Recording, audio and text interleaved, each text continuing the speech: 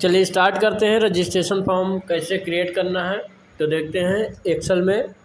ठीक है तो स्टार्ट करने से पहले, सबसे पहले एक्सेल को ऑन कर लेना। तो ऑन करने के लिए विंडो प्लस आर करता हूँ शॉर्टकट और यहाँ पे मैं लिख दूँगा एक्सेल और एक्सेल लिखने के बाद आपको इंटर कर देना है।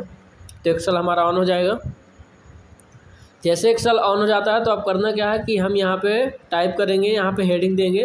रजिस्ट्रेशन फॉर्म आपको किसी का भी बनाना हो, आप बना सकते हैं। तो यहाँ पे मैं मर्ज कर लेता हूँ सेल को सिलेक्ट करके और यहाँ लिख देता हूँ एडमिशन। आप कुछ भी हेडिंग दे सकते हैं जिसका आपको बनाना हो।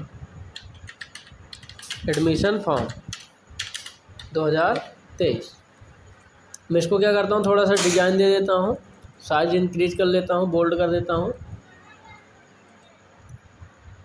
और ये मैंने कर लिया, यहाँ से टेक्स्ट का कलर भी चेंज कर देता हूँ थोड़ा। इतना करने के बाद अब यहाँ पे जो जो आपको हेडिंग देना है, वो आपको यहाँ पे हेडिंग टाइप करना है। जैसे मैं एक हेडिंग दे देता हूँ नेम की। एक सेल छोड़ के आपको दूसरा सेल दे देना है। तो दूसरा सेल दे दिया मैंने और दूसरी हेडिंग मैं दूसरी हेडिंग ऑन करूँगा। तो ऑन कर लेते हैं।